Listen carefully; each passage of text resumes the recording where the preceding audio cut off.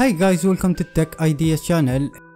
Here there are 5 tips and tricks of HitFilm Express. I wish that I knew before, so stay tuned.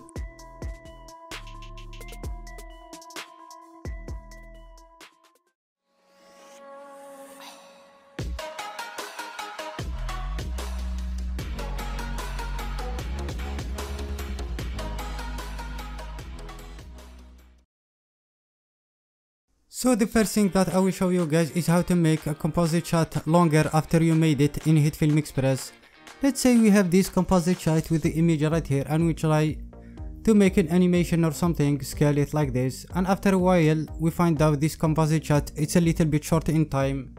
All we have to do is to come to the settings icon right here, click on it and from here as you can see it's 20 seconds all we have to do is to make it like 50 seconds or so and click on OK. So now when we came to the editor panel guys, we can expand this from here as you can see like this and make it 50 seconds.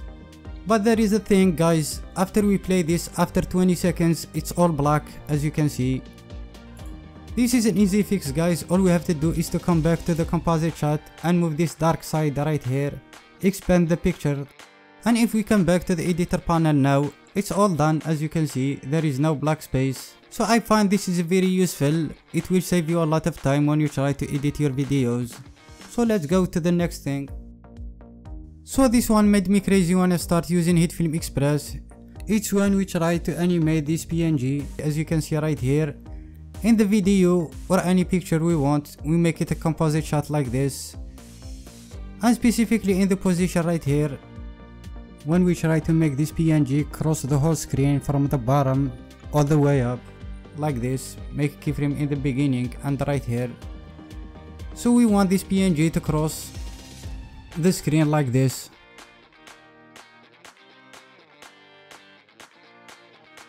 Sorry about that, it's so damn long let's move this keyframe right here also. And the animation is supposed to be like this. So when we came to the editor panel guys it doesn't do that. As you will see right here. So the thing about that when you select it there is a square in the middle right here of this png as you can see it will appear only in this square to fix that, it's easy. We're gonna make this square fit the screen, as you can see right here. But the PNG became so much bigger. So this is an easy fix also. All we have to do is to come back to the composite shot and we're gonna scale this the size that we want. Like this. So now we came to the editor panel again and now it will cross the whole screen with the size that we want. So this is for me is a game changing, so I want to include it in this tutorial. So let's go to the next thing. So now what I gonna show you guys, it's about a very cool effect when you using like two pictures and one PNG like this, one smaller and one bigger.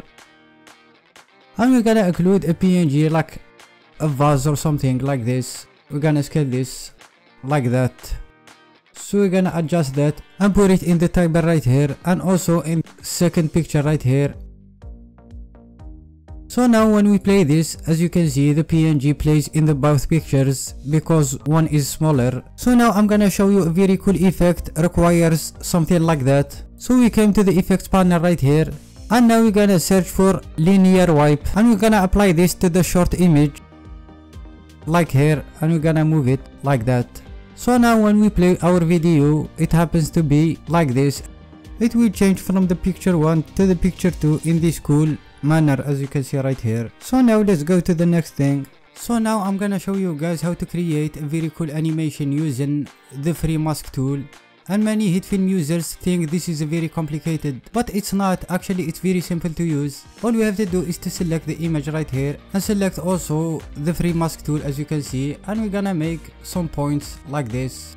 Surround all the image like this as you can see, it's very simple and easy.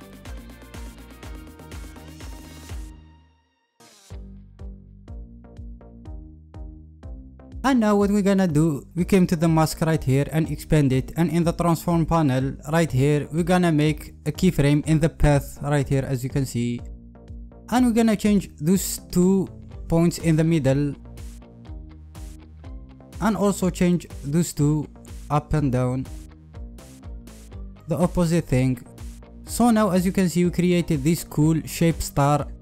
And now what we're gonna do is to move 10 frames forward and we're gonna make those two points back as they were before. Like this. And we're gonna move 10 frames again. And we're gonna do the same with those two points. Like this. And now we created this cool animation under one minute. Or half a minute as you can see. It's very simple to use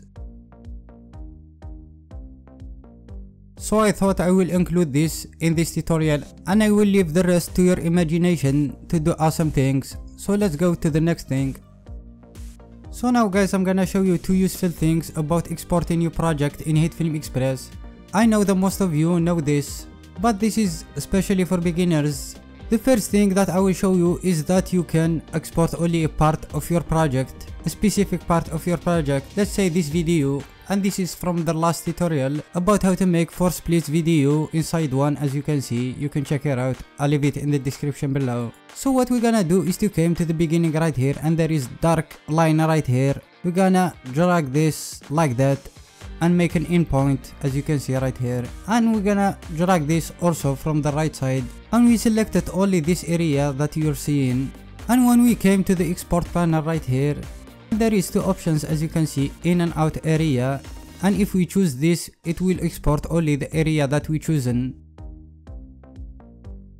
So now we come to the second thing when we try to export our project always came in the horrible name editor 5 or 10 or something. So we click add this and we're gonna change the name to any name we want so that we can directly upload it to YouTube under the name that we want and that make a major difference when you upload it on YouTube, trust me. So that's all for me guys, if you find this video helpful don't forget to give me a big thumbs up and also subscribe for more tips and tricks like this and if there is anything you want me to do a tutorial about all you have to do is to write me in the comment section below. So I guess I will see you in the next tutorial, see ya.